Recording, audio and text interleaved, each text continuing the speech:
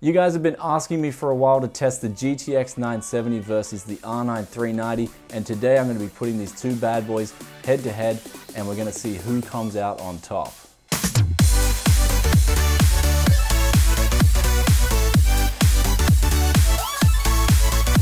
So for a while I've been asked what is the best graphics card for around $300 and today I'm going to be testing the GTX 970 G1 from Gigabyte. I'm going to be putting that head on with the MSI R9 390 on the AMD side. So without further ado, let's get on with the benchmarks.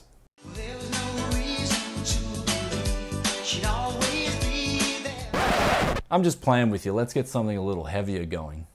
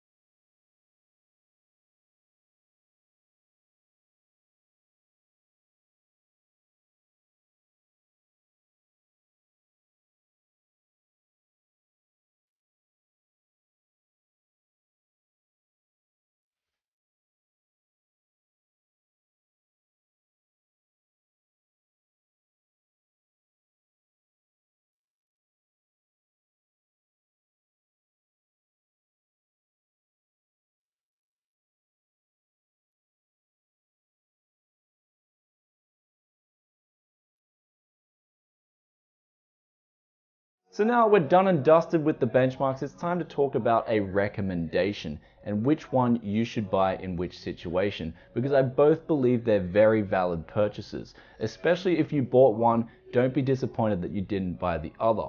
I would say that both these cards are phenomenal for $300. They're actually the real sweet spot card at the moment. And also I will add on that that if you are a pure gamer, and all you're doing is nothing but gaming and power is pretty cheap where you live, I would give the slight edge to the R9 390, especially with that 8 gigabytes of GDDR5 on board and especially with the rumors that going around that DX12 titles are going to be more favored towards AMD's architecture.